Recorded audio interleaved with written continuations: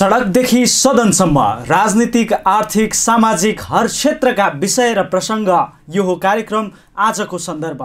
National gold टेलिभिजनको दैनिक कार्यक्रम आजको सन्दर्भमा यहाँहरूलाई हार्दिक स्वागत छ म विकल्प चौलागाई।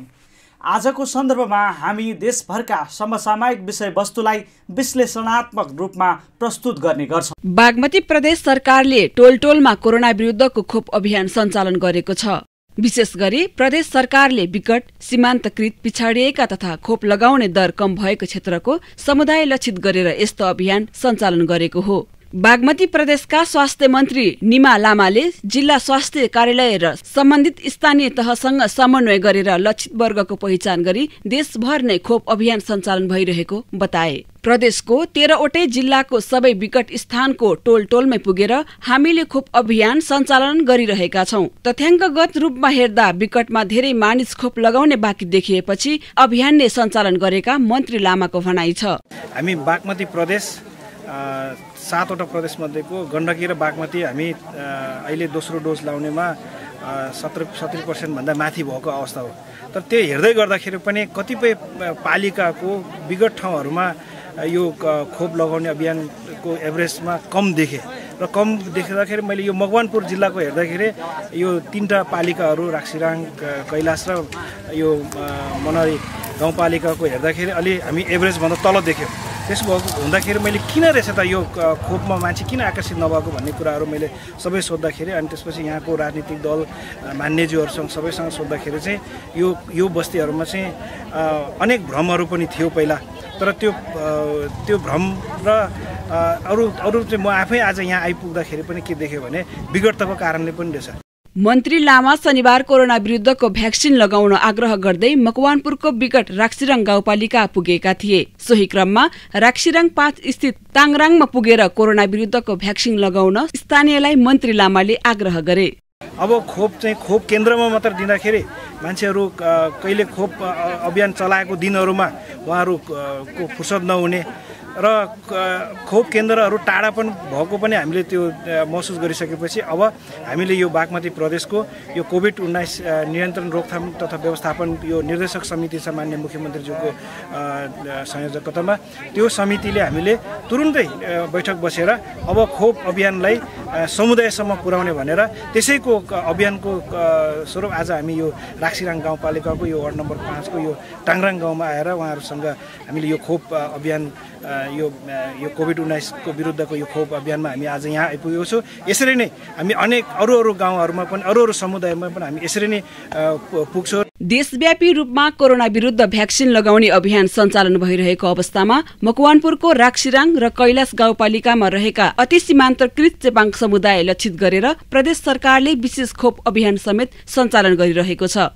स्थानीयले पनि घर नजिकै खोप लगाएका कारण आफूहरू उपस्थित भएको बताएका थिए। पहिला पहिलातिर पनि अब विभिन्न रोगहरू त कोभिड भन्ने रोग नभए पनि नेपाल सरकारले चैत भित्रमा शत प्रतिशत नागरिकलाई कोरोना विरुद्धको खोप लगाउने नीति अवलम्बन गरेको छ। बाह्र वर्षदेखि सत्र वर्षसम्मका उन्तिस प्रतिशत बालबालिकाले कोरोना विरुद्धको खोप लगाइसकेका छन्। मन्त्रालयको तथ्याङ्क अनुसार सिन्धुली र नुवाकोटमा खोप लगाउनेको संख्या साठी प्रतिशत भन्दा कम देखिएको छ। अबको तीन दिनभित्रमा सबै जिल्लामा खोप लगाउनेको संख्या अस्सी प्रतिशत भन्दा माथि हुनेछ अधिकारीले भने। बाँकी जिल्लामा करिब अस्सी प्रतिशत मानिसले भ्याक्सिन लगाएका छन्। बालबालिका लक्षित गरेर मात्र होइन फ्रन्ट लाइनरलाई बुस्टर डोज लगाउने काममा पनि हामी केन्द्रित रहेको बागमती सरकारको भनाइ छ। खोप लगाउने दर कम रहेको क्षेत्रको पहिचान गरी स्थानीय राजनैतिक दल धार्मिक अगुवा टोल विकास संस्था लगायतको समन्वयमा समुदायमा खोप लगाउने दर बढाउन प्रदेश सरकारको निर्देशन अनुसार जिल्लाभर अभियान सञ्चालन गरिरहेको जिल्ला स्वास्थ्य कार्यालय मकवानपुरको भनाइ छ। यति बेला मुलुकको अर्थतन्त्र चरम सङ्कटमा छ। सबैजसो सूचक नकारात्मक छन्। जुन कुरा विश्व बैङ्कदेखि नेपालको केन्द्रीय बैङ्क र महालेखाको प्रतिवेदनले समेत प्रष्ट पारेको छ।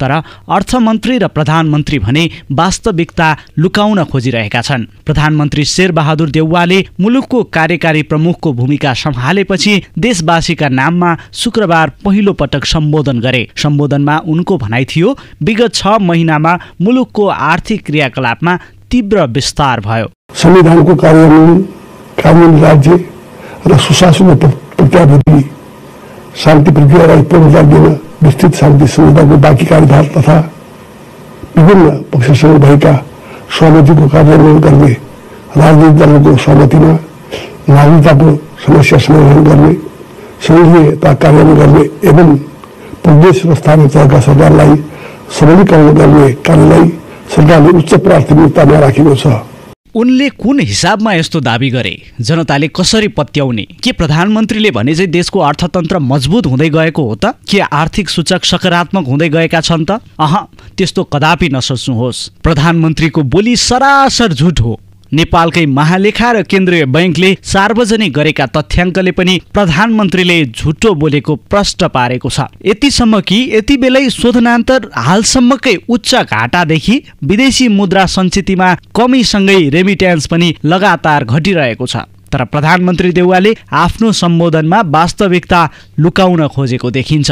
संसदमा रहेका सबै राजनीतिक दलहरूसँग संवाद र सहमतिका माध्यमबाट संसदको गतिरोध अन्त गरी विचाराधीन विषयलाई निष्कर्षमा पुर्याइनेछ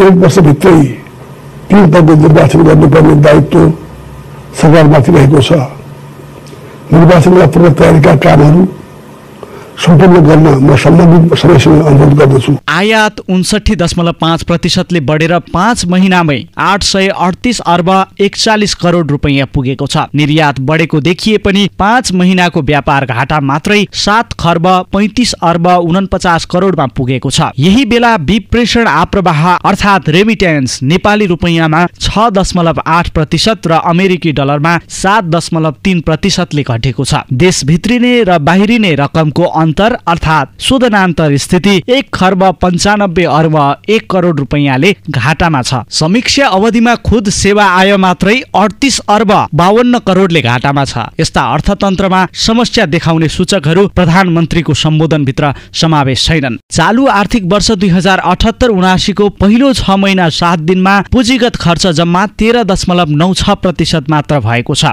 जसका कारण ब्याङ्कहरूसँग तरलता अभावले कर्जा प्रवाह समेत हुन सकेको छैन। मुलुकको अर्थतन्त्रका सबै जसो सूचक ऋणात्मक स्थितिमा पुगेको अर्थविदहरूको भनाइ छ। विदेशी मुद्रा सञ्चितमा कमी व्यापार घाटा रेमिट्यान्समा कमी पुँजीगत खर्चमा देखिएको कमी आउनु भनेको अर्थतन्त्र चिन्ताजनक अवस्थामा रहेको अर्थविदहरू तर्क गर्छन्। देशमा आउँदै गरेको चुनाव र कोरोनाको प्रभावले मूल्य वृद्धि झन बढाउने आकलन भइरहेको बेला अर्थतन्त्र बचाउनु राज्यको मुख्य जिम्मेवारी हो। तर राष्ट्रिय र अन्तर्राष्ट्रिय तथ्याङ्कले अर्थतन्त्र नाजुक छ भनिरहँदा सरकारले भने अझै पनि जनतालाई झुक्क्याउने नीति अख्तियार गरिरहेको छ।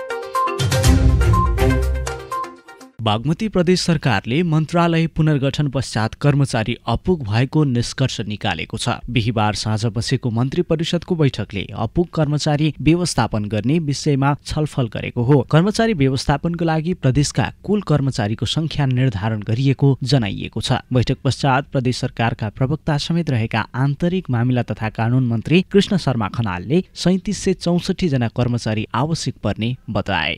मन्त्रालय को पुनर्गठन जो गऱ्यौँ पुनर्गठन गरिसकेपछि कर्मचारीको व्यवस्थापनमा केही समस्याहरू देखा परे। त्यसलाई समाधान गर्न भनेर कर्मचारीको एउटा सङ्ख्या निर्धारण गरेका छौँ साङ्गठनिक संरचना। त्यसमा चाहिँ जम्मा सैँतिस सय चौसठीजना कर्मचारी यो मन्त्रालय अन्तर्गत चाहिन्छ भनेर मन्त्रालयगत सङ्ख्या निर्धारण गरेर गरेका छौँ। र अहिले चाहिँ हिजो पनि हामीसँग कर्मचारी थोरै नै थियो। अहिले पनि त्यो कर्मचारीमा त्यति बढोत्तरी भएको छैन। तर अर्को व्यवस्था नभएसम्मको लागि चाहिँ भइरहेको कर्मचारीबाट काम चलाउने त्यसको लागि चाहिँ छिटोभन्दा छिटो निजामती कर्मचारी नियमावली ल्याउनुको लागि माथि सङ्घमा पनि हामीले भन्ने र प्रदेश लोकसेवा आयोगलाई पनि चाहिँ अगाडि बढाउने र कर्मचारी चाहिँ व्यवस्थापन गर्दै जाने भन्ने एउटा निर्णय गरेका छ। बागमती प्रदेशको स्थायी राजधानी हेटौँडा निश्चित गरिए पनि हालसम्म प्रशासनिक भवन लगायतका संरचनाहरूमा ध्यान नगएको प्रवक्ता खनालले स्वीकारे। यस विषयमा पनि मन्त्री परिषदको बैठकले एक साताभित्र सबै टुङ्गो लगाउने निर्णय गरिएको उनको भनाइ छ। उक्त कार्यका लागि समिति निर्माण गरी यथाशीघ्र काम सम्पन्न गर्ने बताइएको छ। अस्थायी राजधानी हामीले चाहिँ स्थायी राजधानी बनाउने हामीले निर्णय गऱ्यौँ र अहिलेसम्म त्यसको प्रशासनिक भवनहरू चाहिँ कहाँ कसरी बनाउने भन्ने बारेमा चाहिँ त्यसको कुनै चासो सरकार भएन। र अहिले हामीले चाहिँ नि तत्काल एक हप्ताभित्रमा चाहिँ यो सबै चाहिँ नि हेरेर बुझेर चाहिँ स्थान पहिचान गरी सिफारिस गर्नको लागि चाहिँ एउटा चाहिँ समिति निर्माण गरेका छौँ। खास गरी कर्मचारी क्षेत्रबाट। त्यसमा चाहिँ नि संयोजकमा बैठक तथा प्रशासन महाशाखा मुख्यमन्त्री तथा मन्त्री परिषद कार्यालयको सचिव हुनुहुन्छ। उहाँको संयोजकत्वमा कानुन मन्त्रालय कानुन सचिव मुख्यमन्त्री कार्यालयकै कानुन सचिव भूमि व्यवस्था सहकारी मन्त्रालयका चाहिँ सचिव आर्थिक मामिलाका सचिव आन्तरिक मामिलाका सचिव भौतिक पूर्वाधारका सचिव र सदस्य सचिवमा चाहिँ रमेश कुमार लुइटेल मुख्यमन्त्री कार्यालयका राखेर चाहिँ हामीले यसरी एउटा समिति बनाएको छौँ। यसले छिटोभन्दा छिटो स्थान पहिचान गरी त्यसलाई अगाडि बढाउनु मन्त्री परिषदले टुङ्गो लगाउन नसकेका कतिपय निर्णयहरूका लागि विभिन्न समिति निर्माण गरिएको मन्त्री खनालको भनाइ छ। उक्त कार्यका लागि मुख्यमन्त्रीको संयोजकत्वमा तीन सदस्य सहितको राजनीतिक समिति निर्माण गरिएको खनालले बताए।